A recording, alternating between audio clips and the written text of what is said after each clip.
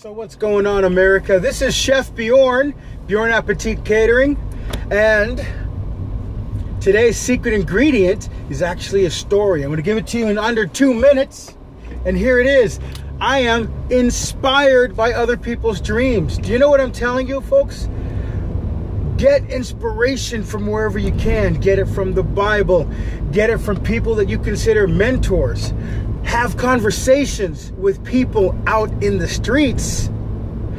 I just came back from recycling a bunch of water bottles, and, you know, a couple of soda cans here and there. And I met this guy who's a tattoo artist. Now, he's working at the recycle center. Now, to some of us, we're thinking, ah, oh, he's working at a recycle center. What's inspiring about that?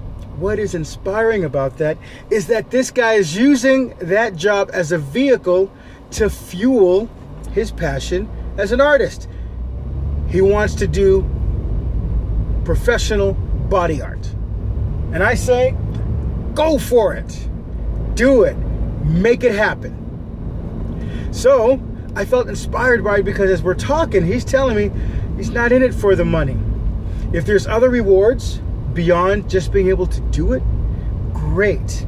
And that is exactly the heart and attitude that you want. You want to be around that, guys. You want to be around people that are dream chasers because guess what? If they share their dreams with you, confession breeds confession. So you can share your dreams with them. I've got 30 more seconds to wrap this up. So check so check this.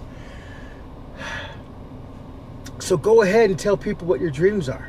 But tell them what you're going to do to make those dreams happen. Show them that you've taken steps. He's got a business card. Website, not yet. Items of work, portfolio, not finished. But he's taken a step. And I challenged him let's go to the next level. Put to finish that portfolio and let's get you out there with a website. Your dream might require other things, but take the steps. I'm Chef Bjorn, wishing you a fantastic day full of aloha, and we'll chat again soon. Take care.